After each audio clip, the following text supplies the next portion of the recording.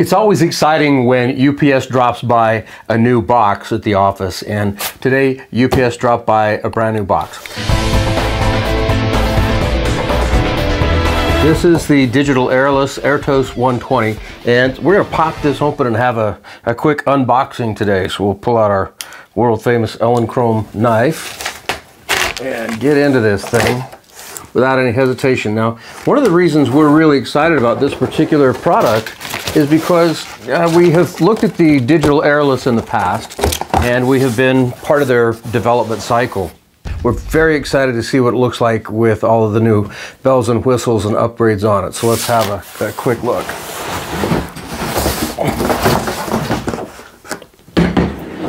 Well, it comes in a, a, great case, as you can see here. So we've got a nice Pelican Storm Series case. Let's dive in.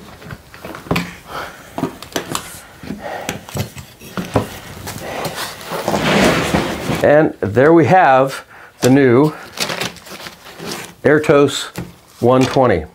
Now, if you're not familiar with the Digital Aerolus drone, this isn't the drone for everybody.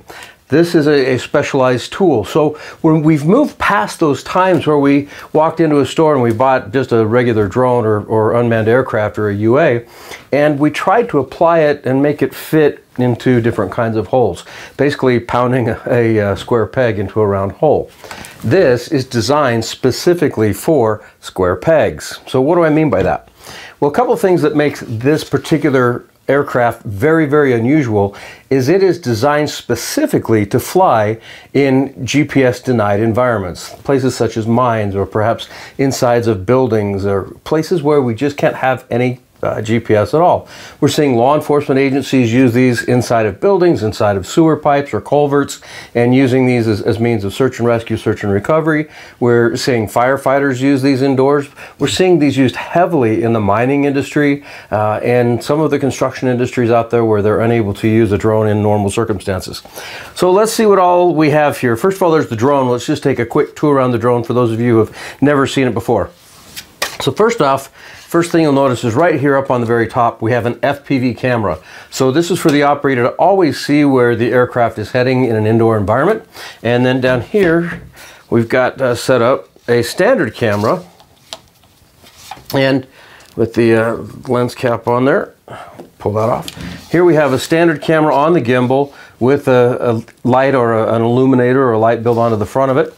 Um, the rest of it is pretty well straight fare. You know, you notice that it doesn't have props. This is a ducted type of aircraft. So this flies a little smoother, but one of the things that makes this particularly unusual is you can launch it and land it just by catching it. That's one of the, the ways it works. And of course, without props, it's very safe to do so. But the thing that, that makes this really powerful, we'll dive into this in a different podcast, but what makes this powerful is how intelligent this aircraft is. This aircraft will not fold up against the side of a, a wall the way that most every drone out there you see will do. So for example, with this aircraft, if it's flying along and it, it meets a wall, a typical drone will immediately flip up or flip down or try to roll around. This aircraft will not. It knows the difference between wind resistance and a wall.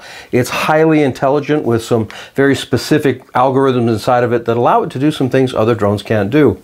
You can even park this aircraft up on the top of a, a building roof or building ceiling rather, or on the top of a mine and be able to look around. So for inspections, for scaffolding, things like that that go on inside of a mine, this really is ideal.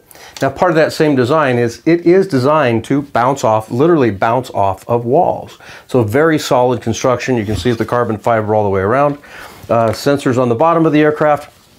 Um, it's got uh, a battery slide in on side here, power connection onto the other side, but let's keep digging into the box and see what, we, what else we have here. Okay, so uh, other things that we have in here, we have a, a replacement set of ducts in case we need to exchange those out we have a, a remote. Now, although this does look very much like the, the DJI uh, remote control, and in fact it, it is a, a, DJI remote control, the electronics inside are not DJI. This is an American-made product. So for those of you that are searching out American-made products, the Aertos 120 is, is uh, one of the aircraft you're absolutely going to want to look at for specific, uh, for specific applications. We've got that there. Uh, let's see what else we have here. Got a, a charging system for the for the drone. So we've got a, a built-in charger here with the, the D2, which is great. Uh, we've got an accessory box. Gosh, that's pretty tight in there. Let's see if we can pull that carefully out without tearing it all over the place. There we go. And in our accessory box here, uh, we've got some more charging, more charging tools, uh, memory cards, and uh, battery checker, etc. So we've got a few other tools that are here inside. Uh, and we also have a, an iPad and, and lightning cable. So they've set us up pretty well with that. Also inside the box, it comes with its own iPad. So the iPad is included in the system. We've got one, two, and three batteries so it's pretty well set up, and these are, are great batteries. These are the Tattu 4500. So those of you who have been involved in the UA industry for a while, you know this brand. This is solid, high quality battery equipment. We dropped our lens cap for the, the unit there. Uh, let's see what else we have. Oh, looks like we've got a, a very handy dandy small multi-tool kit. So we've got everything that we might need in the field to set up and repair. And of course power cables for our charging system. So it looks like this is uh, very complete. It's got everything that we need to have built into the kit or the case already. So we're going to take the Aertos. We'll grab the cable there. We're going to take this uh, Aertos and, and charge up some batteries, and the next time you see us, we'll be flying this in the field. So until then, thanks for tuning in and watching.